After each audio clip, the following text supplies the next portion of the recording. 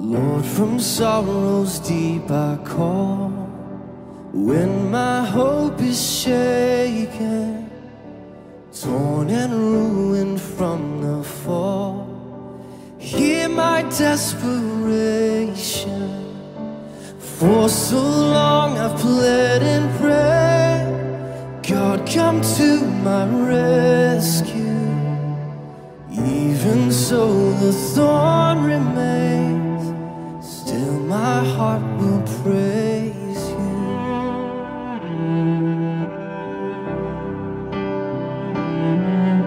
Storms within my troubled soul, questions without answers. On my faith, these billows roll. God be now my shelter. Why are you cast down, my soul? Saves you. When the fires have all grown cold, cause this heart to praise you.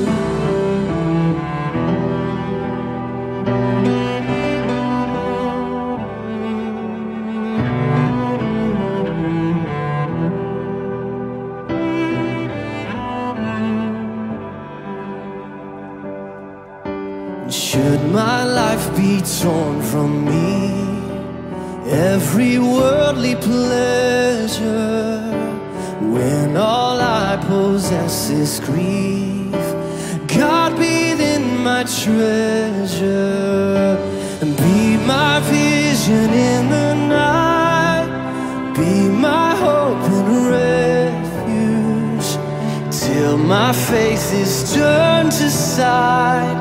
Lord, my heart will praise you. And oh, my soul, put your hope in God, my help, my rock. I will praise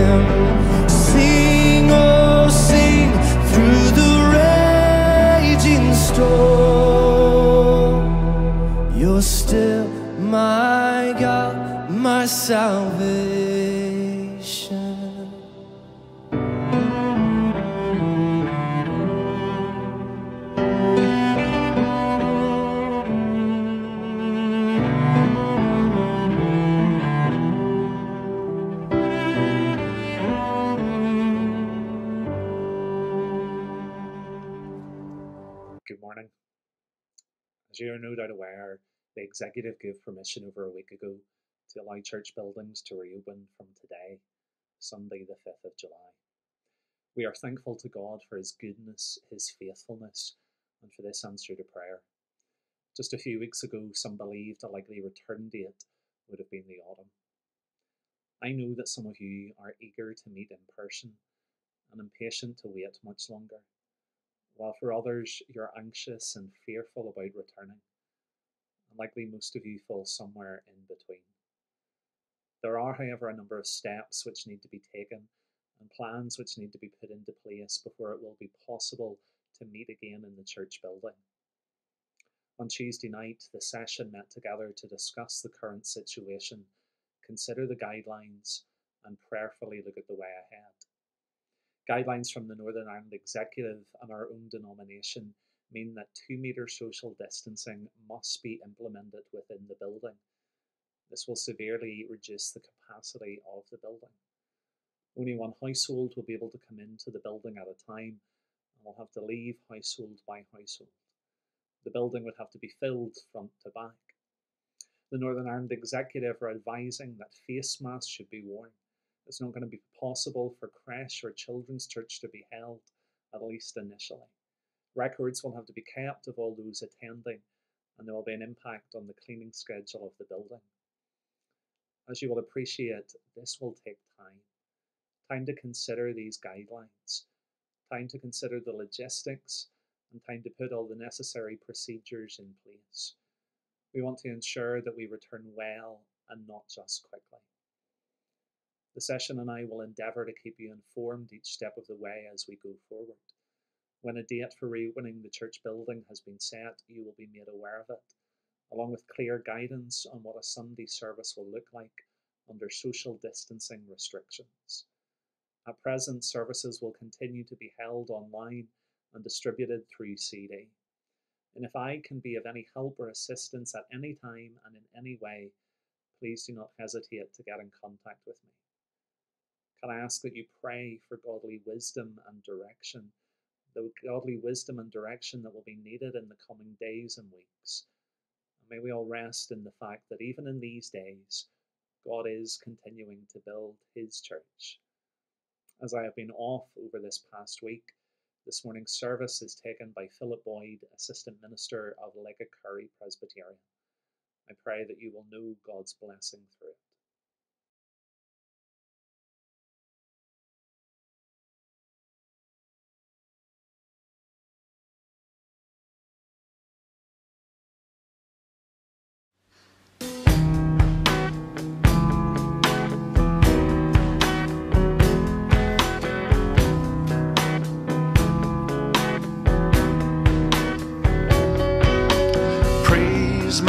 pessoa.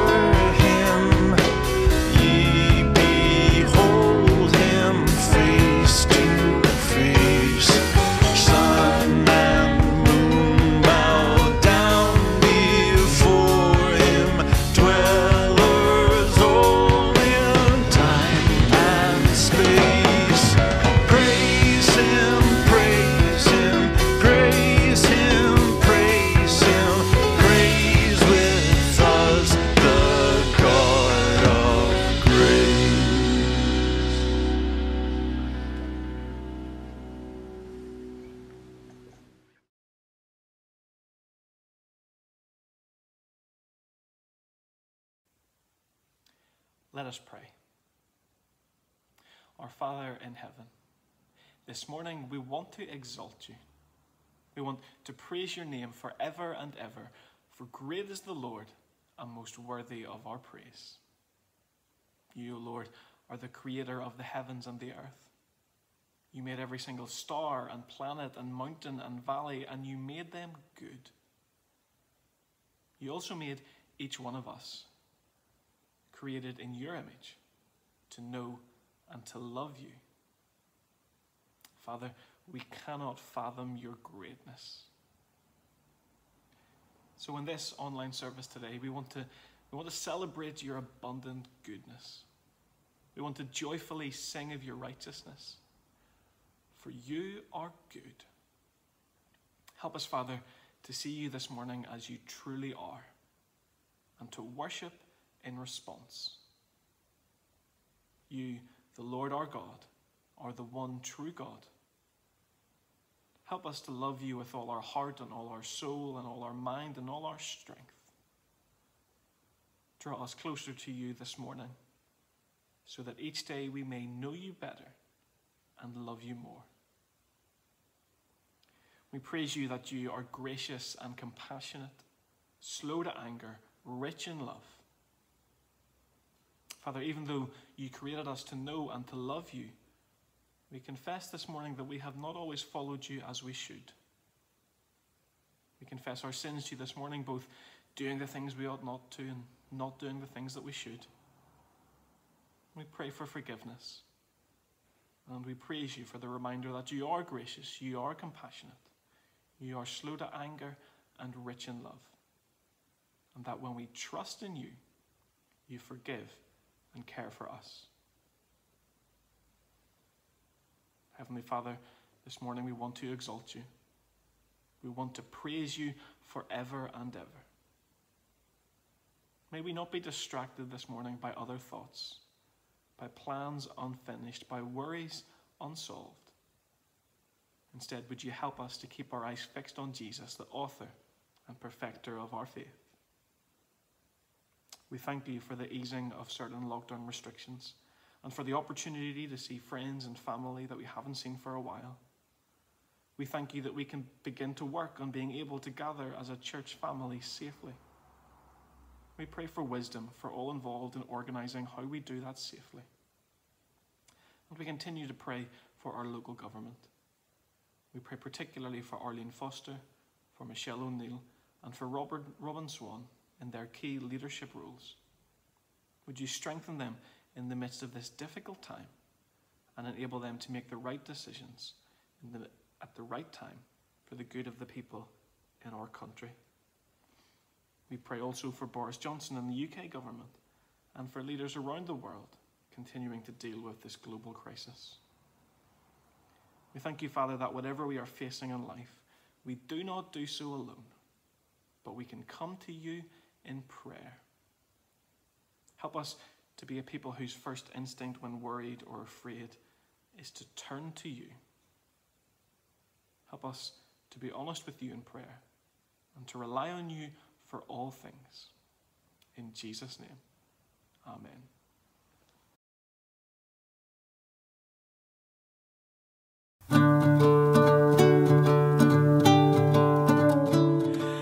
Hi, guys. Have you ever got yourself into all sorts of trouble simply because you didn't ask for help? Do you know, I used to all the time, and sometimes I still do. That's why I wrote this book called Eric Says Please, because my little friend Eric he had a similar problem. He gets himself into all sorts of scrapes because he doesn't ask for help. But fortunately for Eric, he had somebody in his life who helped him to learn that actually saying please is the key to receiving God's grace. So, hope you enjoy it. The doorbell rang and up sprang Mum. Eric, she called, get a move on, son. Grandpa's here to take you to school. I'm ready, chimed Eric, and I look super cool. Grandpa smiled. You certainly do. Now, shall I tie your laces for you? No thanks, Gramps. I don't need help. I'm a big kid now. I can do it myself. But despite his twiddling, twirling, and rapping, Eric set off with his laces flapping. He arrived at school and dashed to his class. Mr. Keene announced, This morning's craft is a project making matchstick rafts. If you need a hand, then please, just ask. Thank you, sir, but I don't need help. I'm a genius, me. I can do it myself. And with those words, Eric proceeded to build the good ship no help needed. But when Mr. Keene came over to check, he found less of a raft and more of a wreck. Eric's heart sank as soon as he'd shown it, because deep, deep down, he knew that he'd blown it. It's ruined! cried Eric, with tears of regret. This is a day I'd rather forget. Oh, we can fix it, Mr. Keene said kindly. But next time you're stuck, just come and find me. Thanks, said Eric as the lunch bell rang, but I'll be just fine. And off he ran. Sullen, subdued, in a sulky mood, Eric waited in line for his food. He stacked his tray but could barely move. Miss Smith offered aid, but Eric refused. Thank you, miss, but I don't need help. I'm super strong, I can do it myself. Then one step, two step, three steps, slip. Eric tripped, his tray flipped and whipped and dipped, then splat! It hit. The hall fell silent, not a word was said, as Eric sat stunned with his lunch on his head. I'm filthy, cried Eric, and I'm hungry too. Today's a disaster, boo hoo! Miss Smith cleaned him up and refilled his tray. Eric, next time let me help, okay? Thanks, said Eric as he chewed on his chow, but I'll be just fine. I'm sorted now. Later that day, Eric popped out to play, determined to prove he was A-OK. He found a tree and started to climb, trembling, ascending an inch at a time till knocky kneed and shaky handed. Yikes, he gasped. I think I'm stranded. On the ground, his friend Billy Brown tried to work out how to get Eric down. Eric, hold on! I know what to do! I'm gonna climb up and rescue you! No! screamed Eric. I don't need help. Just leave me alone. I can do it myself. Fine, snapped Billy. Have it your way, as he turned his back and stormed away. All alone, Eric clung to the trunk till a branch below him cracked and crunked and snapped, then oomph, oomph, thump, bump. Eric lay slumped in a crumpled lump. At the end of the day, young Eric raced to meet his grandpa at the gates. But as he charged at a crazy pace, he forgot all about his trailing lace. Thud. Grandpa scraped him off the ground, gave him a hug and dusted him down. Then battered, bruised, dazed and confused, Eric reviewed the day's bad news. Gramps, I've had the worst day ever. I wrecked my raft thinking I was clever. I wouldn't let Miss help with lunch instead. I ended up wearing my food on my head. I got stuck up a tree, then fell to the floor, and me and Billy aren't friends anymore. Now I've tripped on my laces and grazed my knees. I've had enough, Gramps. Help me, please. My dear boy, I have to say, it sounds like pride has wrecked your day. Always be ready to ask for help from teachers, friends, from God Himself. Pride will always make us stumble, but God gives grace to the truly humble. Then I want grace, the little lad yelped. I need God's help, I can't do it myself. Grandpa knelt at Eric's feet. He laced his sneakers nice and neat. So now you've let me tie your laces. Let's pray to God, because He's where grace is. Okay, said Eric, but how do we pray? How does it work? What should I say? Well, said Gramps, prayer is how we talk to God right here and now. God's a Father who loves and hears us if we trust in His Son Jesus. You don't need words that are big and smart, just be yourself and speak your heart. So side by side they started walking. Eric sighed and started talking. Dear God, here we are on the way to Grandpa's car. I'm sorry for all the times today I tried to do things my own way. Forgive me for being so proud and silly. Please help me sort things out with Billy. Then, just as Eric said, Amen, Billy bounced around the bend. Eric froze, his hair stood on end. I- I'm sorry, Billy. Please be my friend. Of course, said Billy, beaming bright. We're bestest buddies, friends for life. The boys shook hands and headed home. Friendship fixed, problem gone. Eric was buzzing, bamboozled, amazed. God just heard the prayer I prayed. Smiling, Grandpa ruffled his hair. I love it when Father answers prayer.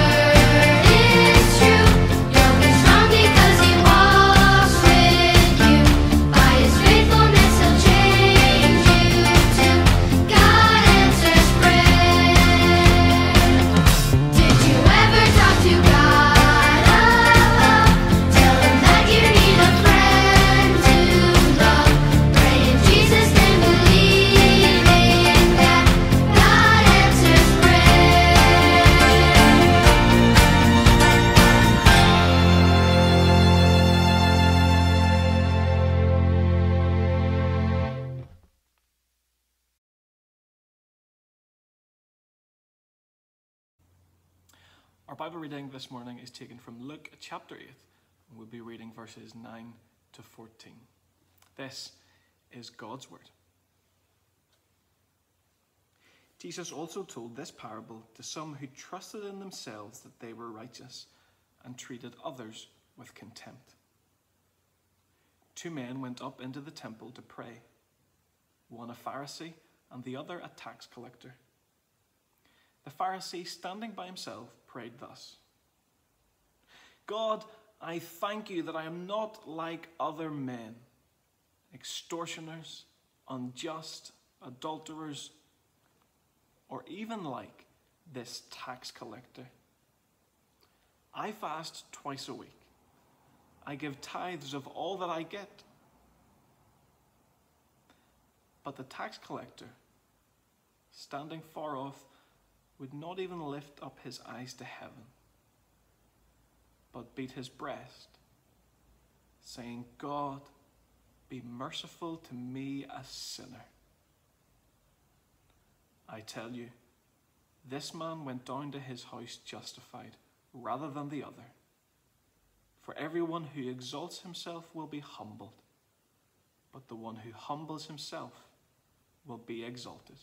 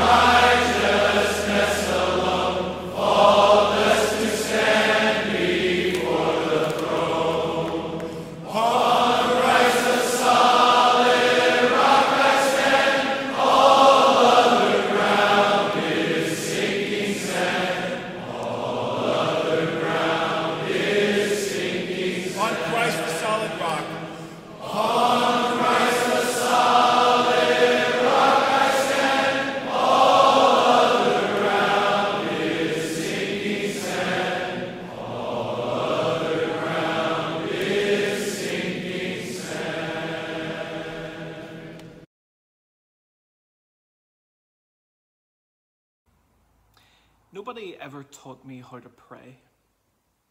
I don't know what it's like for you. I've been to lots of classes and seminars and courses on how to study the Bible, how to read the Bible, how to teach the Bible. But nobody ever sat me down and says, well, this, this is how you're supposed to pray. I think lots of the things that we learn about prayer, we pick up as we go along. We learn from how the people around us pray. So I remember whenever I was a teenager and I first began to take my faith seriously, I remember going to my first ever prayer meeting. And I have to say, as I went, I was very nervous. I didn't really know what the rules were. I didn't know how prayer meeting worked. I didn't know what I was supposed to do. Is there some sort of unspoken list that people know who prays when? Are there rules? Are there things that you're meant to do and things you're not meant to do? I hadn't a clue. Now, the first few times I went, I just sat very quietly and took it all in as best as I could. I noticed that some people's prayers, well, they were very impressive. They used lots of words that I didn't understand. They never fumbled. They seemed like, well, they were the experts who had this whole prayer business figured out. They knew what they were doing. And they set the standard that I should aim for. I needed to learn the big words I needed to plan what I was going to say in advance and show them that I could pray with the very best of them. It didn't take very long after that that I noticed something else. That while, yeah, there were some people with their really impressive prayers, not everyone prayed like that. Some of those long prayers were wonderful and came from people I knew well and respected, and they loved God. But there were other people who I knew well and respected, and I knew they loved God. And well, they prayed differently. Some they sounded just like they were talking to a person sitting in the chair next to them. Some, well, you could tell they were nervous and they rambled and they took quite a while to get to the point. Others prayed very short prayers. And some people who I knew loved God, well, they never felt comfortable praying out loud at all. What I was learning about prayer, sitting in on those prayer meetings, it's the sort of thing that you don't learn from a textbook. Nobody stood up and explained what was going on. But what I learned was that what you say and the way that you say it isn't the most important thing when it comes to prayer, but rather it's the state of our hearts. Some people's prayers were impressive and eloquent, and that was great. But other people's prayers were just very simple cries to their God. They felt every bit, if not more, authentic and real than any other prayers I heard. I learned that what matters most when we pray is our hearts. This is Jesus' point in telling this parable in Luke 18. He shows us two very different men at prayer, and how they pray reflects their hearts. The passage begins to some who trusted in themselves that they were righteous and treated others with contempt. Jesus told this parable. Jesus, he knew the hearts of those who were listening to him. He knew that they were self righteous. He knew that they were trusting in themselves.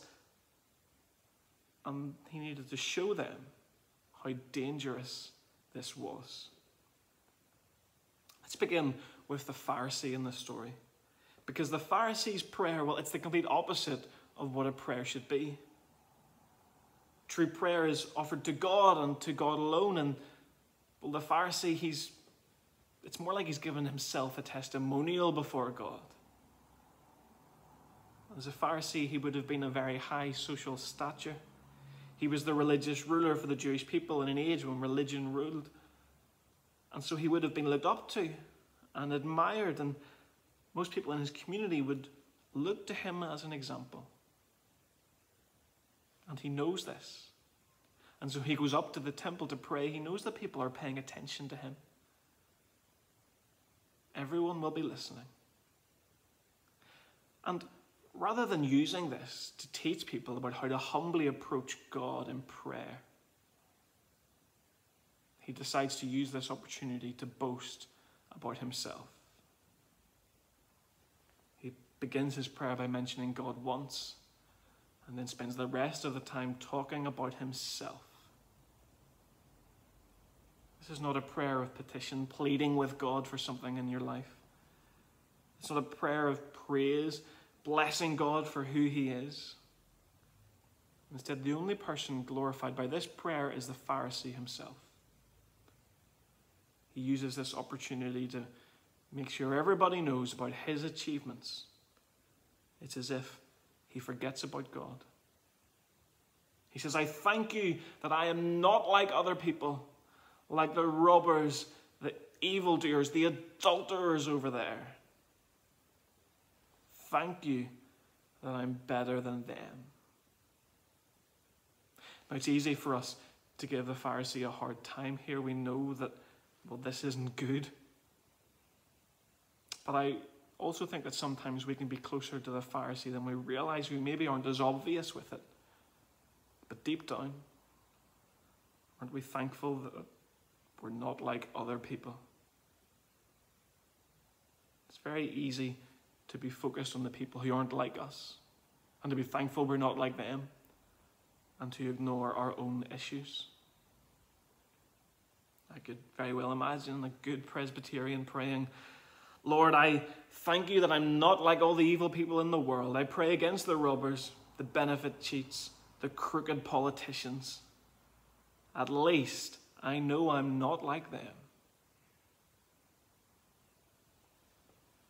You've maybe never prayed a prayer like that, but you've thought thoughts like that. Deep down. I may not be perfect, but at least I'm not like them. The Pharisees' problem here, and ours at times if we're honest about ourselves, is that well, we think that we're better than we are. We think more highly of ourselves than we ought to. The Pharisee was a sinner, just like the robbers, the adulterers, the evildoers. And so are we. If our attitude when we come to prayer is, oh, thank God that I am not like everyone else, you really broke the mold when you made me. Well, we're missing the point. We are no different, we are no better, and neither was the Pharisee. He continues and he thanks God for not making him even like this tax collector. The man who, just like him, had come up to the temple to pray to God. Well, he's no different from the robbers, the evildoers, the adulterers, in the Pharisee's eyes, he's just another example of some sort of lesser human being. He's not as good as me. The Pharisee treated everyone like this because he considered himself elite. He considered himself a cut above the rest. He was proud of all of the good works that he did. He wasn't just a follower of God, he was a super follower of God. Everyone else, Jewish people at those times, they fasted once a week. He made sure they all heard, I fast twice a week. I'm a super Pharisee. Whenever you bought food at the market in those days, the farmer had already given a tithe or a tenth away over to the work of God's people. So whenever you bought food, you didn't need to give a portion of it away. That had already been done. And the Pharisee is saying, Well, everything I get, I give another tithe away. I go above and beyond. And the problem isn't that it isn't a good thing to give more away, to spend more time in devotion to God. They're good things, but they're things that should bring us closer to God, not things that should make us more impressed with ourselves. He wants people to see how holy He is, how wonderful He is, how much better than them He is. He is trusting in himself for his righteousness. He is trusting in the good things that he does to prove that he's a super religious guy. He was wrapped up in his religious duties to try and curry favor with God. He's gone so far beyond the call of duty that surely God has to be impressed with him. These aren't acts of worship. These are acts of religiosity. He's trusting in his own righteousness, his own good works, his own efforts, rather than in God's. Jesus finds this offensive. And this is exactly the sort of attitude that he's condemning in this parable. But if we're really honest, isn't it tempting for us to hold on to this sort of attitude? To think, surely God has to be pleased with me. Instead of trusting in the mercy that He shows us. We come to prayer and we worry so much about being impressive and saying the right thing and doing the right thing and being seen to do the right thing that we maybe don't stop and consider our hearts. Now we look at the tax collector, and he's the very opposite of the Pharisee. Whereas the Pharisee is front and center and makes sure everybody sees him, the tax collector, he stands far off. He doesn't look up to heaven proudly, but he can't lift his eyes to heaven. He looks down. Whereas the Pharisee would have gone into the inner sanctuary of the temple, the tax collector, he holds back because he feels so unworthy. And then he beats his breast. His prayer is so simple God, be merciful to me, a sinner. In ancient Middle Eastern culture, the, the breast or the heart was considered the seat of sin. And so to beat your breast is an act of grief or contrition. It's to say, I know what the core of my problem is, it's my heart. And to strike it in this way, well, that was a gesture that was normally only done by Middle Eastern women. Men would only have beat their breast in this way in situations of real grief or anguish. By beating his chest, the tax collector, well, he knows that the biggest problem in his life is his sinful heart. Tax collector, he knows he isn't as good of a person as the Pharisee. He knows that time and time again he fails to do what he ought. He knows that he is failing to live up to his God's standards The tax collector is in no denial about who he is, about how often he misses the mark of God's holiness. He has nothing to boast in, he has nothing to be proud of. All he can bring to God is his broken heart. A heart that loves God and therefore hates the sin that separates him from God. He knows that nothing he can do will change all of this. And so the only thing he can come with is a broken heart. A heart which cries out to God for mercy and forgiveness. The Pharisee, he makes this big, bold, public display about how righteous he is. And the tax collector, he knows how unrighteous he is. He's totally oblivious to everyone around him. He's only thinking about his God. And then Jesus explains in verse 14 what's going on here. I tell you that this man, the tax collector, went down to his house justified rather than the other. For everyone who exalts himself will be humbled, but the one who humbles himself will be exalted. What sort of prayer is God interested in? The prayer of the brokenhearted. Don't fall into the trap of the Pharisee. Don't assume that because you do good things or you're an active church member or, well, at least I'm not as bad as them. Don't assume because of these things that you're any better than anyone else. You're not. I'm not. Nothing we can do can ever make up for the things that we have done wrong. The only way we can come to God is through Jesus. The only way we can know God is because of Jesus' sacrificial death for us on the cross. So when we pray, authentic prayer isn't impressive. It isn't trying to show God how much we understand or how articulate we are. It's coming to our Heavenly Father with a broken heart, knowing that on our own, left to our own endeavours, we are so far from Him. But it's coming to God with that broken heart, rejoicing because He is a God of great mercy who forgives us, restores us, heals our broken heart, and makes us whole It's coming before God just as we are, crying out for His mercy and laying our burdens at His feet. As you think about God this week, as you come to Him in prayer, don't worry about being impressive. Don't worry about showing off. Just come to Him with a broken and a contrite heart.